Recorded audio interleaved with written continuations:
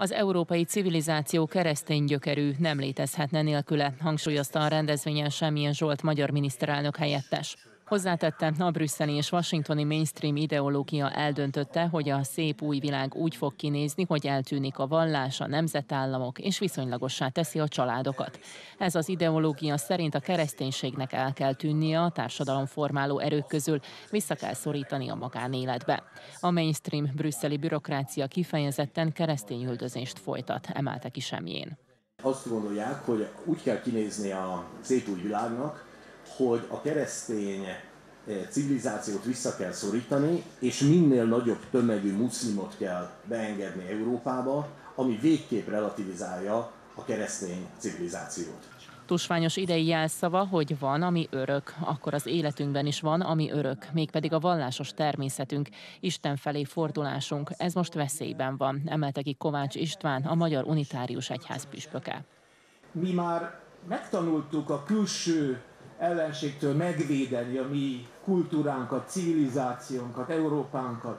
Sokkal nehezebb belülről védeni. És az a rettenetes jelen pillanatban, hogy az igazi nagy támadás az belülről érkezik most.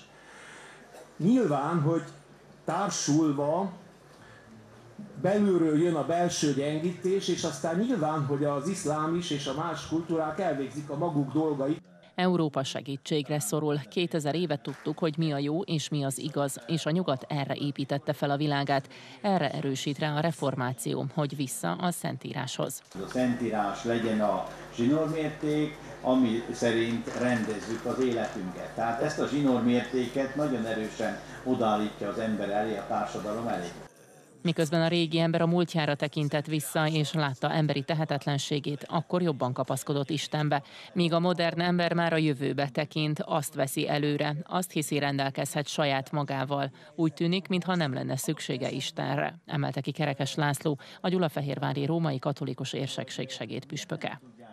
Az első gondolatunk az lehet, hogy ebben a szekularizált világban vagy jövőben mintha az ember száműzni Isten, egy Isten nélküli világban szeretne élni, azonban azt is látjuk a valóságban és a nyugati társadalmakban is, hogy valójában ha nem, nem akarja teljesen száműzni, hanem uh, próbálja uh, privatizálni, próbálja megőrizni saját magának, mintha hallottuk ezt is, mintha magánügy lenne. Az aktuális témák között megemlítették az ukrán-orosz háborút is, melynek kapcsán Semjén Zsolt kiemelte, a magyar álláspont teljesen megegyezik Ferenc pápa álláspontjával, amelyik azt mondja, hogy a fegyverek dömpingje nem jelent megoldást, a biztonsághoz mindenkinek joga van, a cél pedig, hogy minél előbb béke legyen.